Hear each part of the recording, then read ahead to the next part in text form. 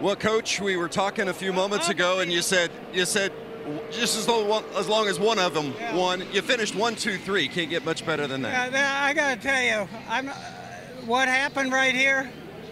JD's name's on that car. That's his number 11 with Denny. He found Denny. I'm just saying, what happened here is emotional for all of us, the family. This is, this is Jackson, Denny's, Denny racing like he did right there is just unbelievable. I, I'm emotionally shot. This is What's it mean, Joe, that- grandkids here.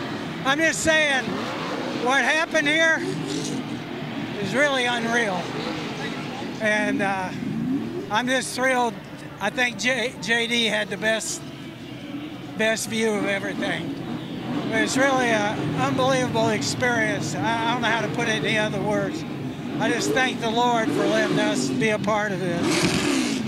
Yeah, and I, I hope JD, I hope people will go to JD Gibbs and see that video. I think it could be life changing for them. Congratulations, Joe.